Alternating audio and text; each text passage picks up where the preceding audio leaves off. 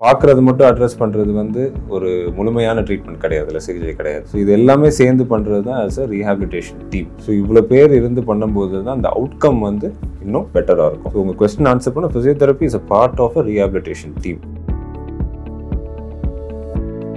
rehabilitation மெடிசன்ன்றது பார்த்துக்கிட்டிங்கன்னா இந்தியாவில் it's a new field தான். பட் இருந்தாலும் it is been there from the early seventies எயிட்டிஸ்லேருந்தே இந்தியாவில் இருக்குது but the number of professionals என்ன மாதிரி ப்ரொஃபஷனல்ஸ் ரொம்ப கம்மி. அவங்களோட சர்வீஸ் வந்து வெளில பெருசாக தெரியாமல் இருந்திருக்கு. இப்போ தான் கொஞ்சம் வெளில தெரிஞ்சு வந்துட்டுருக்கு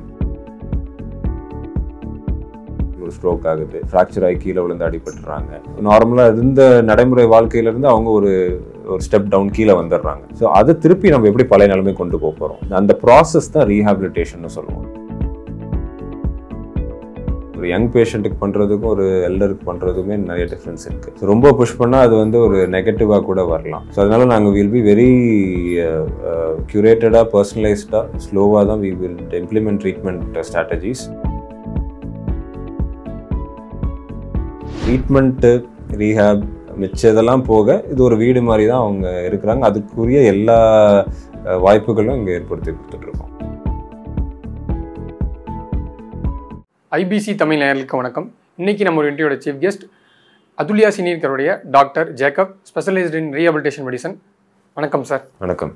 அதுல்யா சீனியர் கேரில் இதுக்கு முன்னாடி நம்ம நிறைய இன்ட்ரடியூஸ் பண்ணியிருக்கோம். ஸோ எல்டர்ஸ்க்காக நிறைய ஒரு வசதிகள்லாம் இங்கே இருக்குது ஸோ இப்போது ரீஹபிலிட்டேஷன் மெடிசன் ஸோ இந்த ரீஹபிலிட்டேஷன் வந்து நீங்கள் வந்து ஒரு ஸ்பெஷலிஸ்ட்டாக இருந்து இங்கே எல்டர்ஸ்க்கு வந்து கவனிச்சிட்டீங்க ஸோ என்ன இது என்ன மாதிரியான ஃபெசிலிட்டிஸ்லாம் வந்து இதில் இருக்குது ஸோ பொதுவாக இப்போ அத்துல்ய சீனியர் கேர் பார்த்துக்கிட்டிங்கன்னா இங்கே இந்த ரீஹாபிலிட்டேஷன்ன்றது இப்போ நியூவாக நம்ம இன்ட்ரடியூஸ் பண்ணுற ஒரு கேர் வர்டிக்கல் இப்போ பொதுவாக நிறைய ரீஹாபிலிட் அத்துலியா சீனியர் நிறைய வெர்டிகல்ஸ் இருக்குது இப்போ for example assisted living dementia care palliative care அந்த இதில் வந்து ரீஹாபிலிட்டேஷன் கேருமே இப்போ இன்ட்ரடியூஸ் பண்ணுறோம் ஸோ இந்த ரீஹாபிலிட்டேஷன் கேர் என்னன்னு பார்த்துக்கிட்டிங்கன்னா seniors with age related problems வரலாம்.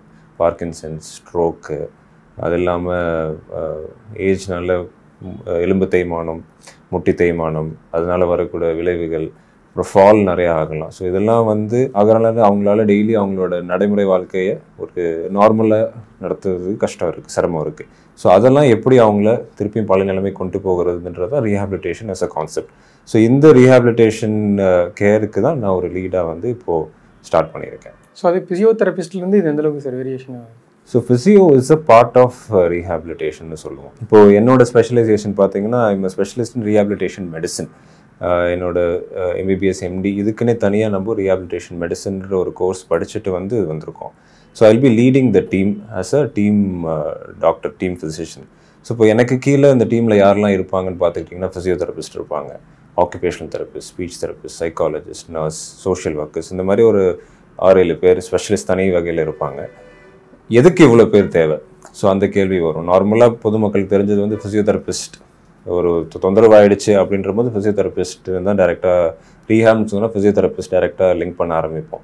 ஸோ எதுக்கு இந்த இவ்வளோ பேர் தேவைன்னா இப்போ ஒரு ஃபார் எக்ஸாம்பிள் ஒரு ஸ்ட்ரோக் ஆகுது ஒரு ஒரு சீனியருக்கு ஸ்ட்ரோக் ஆகிறது வந்து நம்ம பார்க்கக்கூடிய விளைவு வந்து பக்கவாதம். பேரலிசிஸ் மட்டும்தான் தெரியும் நம்ம கண்ணுக்கு.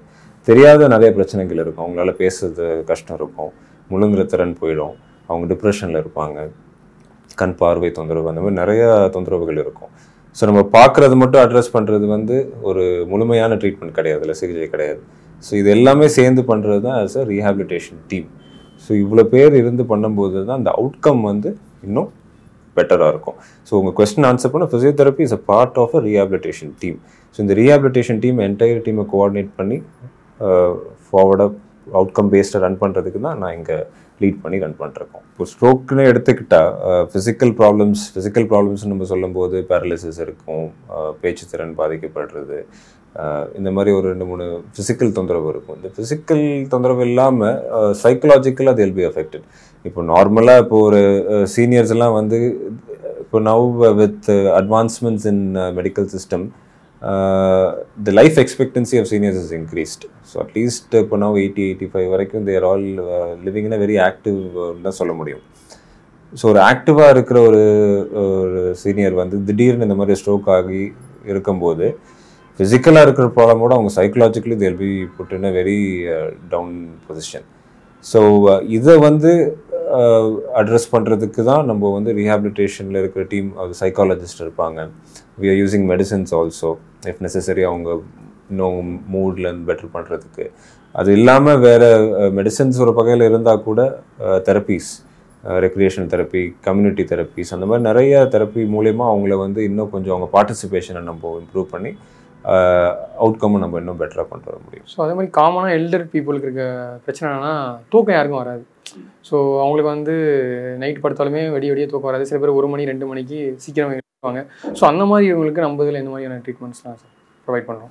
ஸ்லீப் தொந்தரவு பார்த்துக்கிட்டிங்கன்னா பொதுவாக வித் ஏஜ் வந்து அவங்க பிரெயின் டீஜென்ரேஷன் இருக்கும்போது ஸ்லீப்புமே கம்மியாக தான் இருக்கும். ஸோ ஒரு சில அது இல்லாமல் இந்த மாதிரி தொந்தரவானவங்களுக்கு ஒரு இப்போ ஃபார் எக்ஸாம்பிள் ஒரு ஃபால் ஆகி ஃப்ராக்சர் ஆகுது. வழினால் அவங்களுக்கு தூக்கம் வராமல் இருக்கலாம்.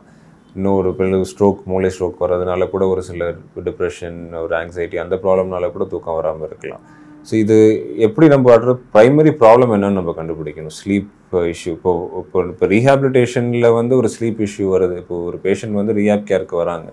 அந்த கேரில் வரும்போது அவங்களுக்கு ஒரு ஸ்லீப் இஷ்யூ இருக்குன்னா ஃபஸ்ட்டு வந்து எதனால் அந்த ஸ்லீப் இஷ்யூ இருக்குன்னு நம்ம அசஸ் பண்ணணும். ஸோ என்ன ப்ராப்ளம் அவங்களுக்கு வந்து ஃபஸ்ட்டு அந்த பெயினால் இருக்கா?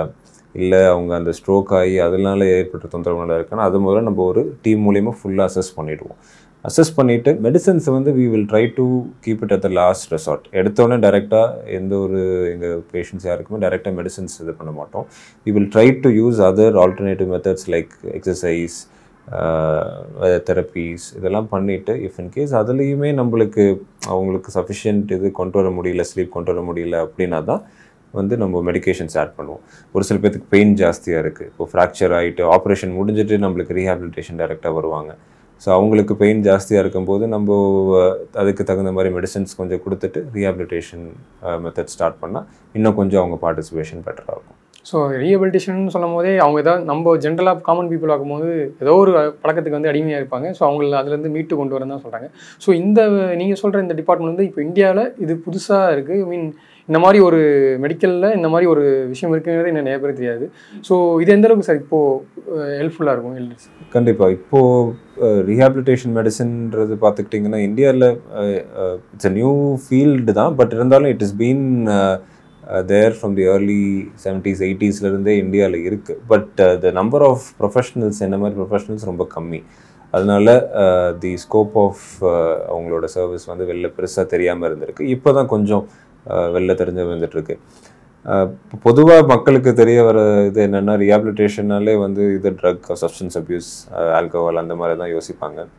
ஸோ ரீஹாபிலிட்டேஷன் அந்த அந்த வேர்டை தனியாக எடுத்து அதோட அர்த்தம் நம்ம என்னன்னு பார்த்தோம்னா it's just getting the patient or the person back to the normal life if they have gone through some problem இப்போ ஃபார் எக்ஸாம்பிள் ஒரு ஸ்ட்ரோக் ஆகுது.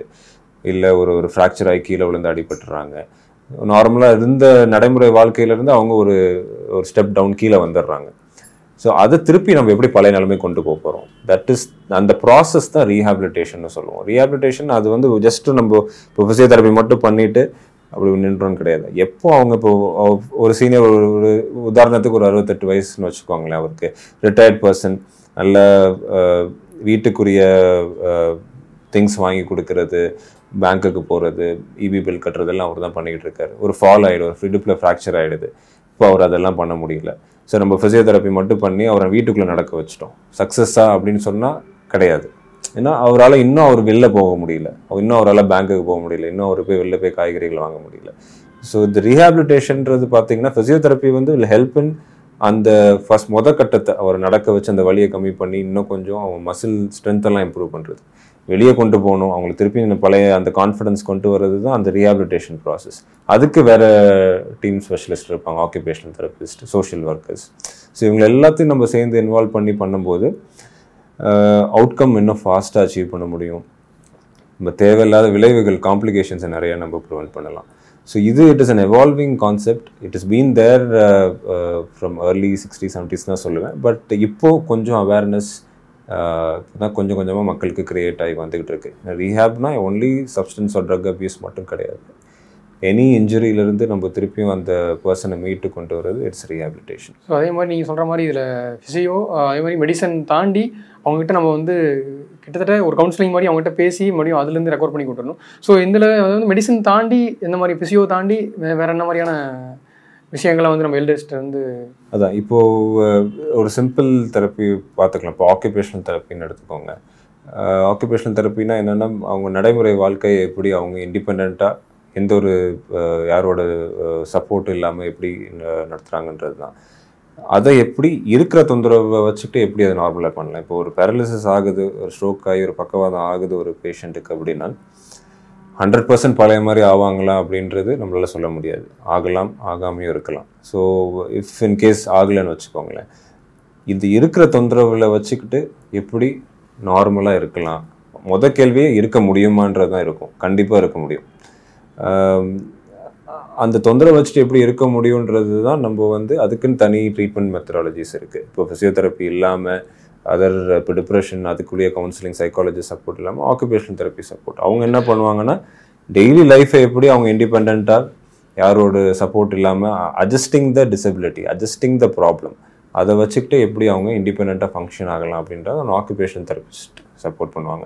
ஸோ இதெல்லாம் வந்து எப்படி ஒருங்கிணைச்சு ஏன்னா இப்போ பார்த்தீங்கன்னா நான் சொல்லியிருக்க ஒரு அஞ்சாறு ஸ்பெஷலிஸ்ட் ஆல்ரெடி கீழே இருக்காங்க. இவங்க எல்லாம் தனித்தனியாக வேலை செஞ்சுட்டு இருந்தாங்கன்னா பேஷண்ட்டுக்கு ரொம்ப கஷ்டம். ஒரு இன்ட்ராக்ஷன் இருக்காது. யார் என்ன பண்ணுறாங்கன்றது ஒன்றும் புரியாது. இது எல்லாத்தையுமே ஒருங்கிணைச்சு கரெக்டாக பண்ணுறாங்களா அவங்களை கரெக்டாக கைட் பண்ணி பண்ணுறதுக்கு தான் ரீஹாபிலிட்டேஷன் மெடிசன் ஃபிசிஷனாக நான் வந்து கைட் பண்ணி இந்த டீமை ரன் பண்ணுவேன். எல்டர் பீப்புளுக்கு வந்து ஒரு அஃபெக்டட் லைஃப்லேருந்து மறுபடியும் அவங்களோட நார்மல் ரொட்டீன் லைஃபுக்கு கொண்டு வரது வந்து ரீஹாபிலிட்டேஷன் மெடிசன் வந்து கண்டிப்பாக நிறைய நீங்கள் சொன்ன மாதிரி நீங்கள் சொல்கிற விஷயங்களை வச்சு பார்க்கும்போது நிறைய யூஸ்ஃபுல்லாக இருக்கும்னு நினைக்கிறேன். Thank you for your time sir thank you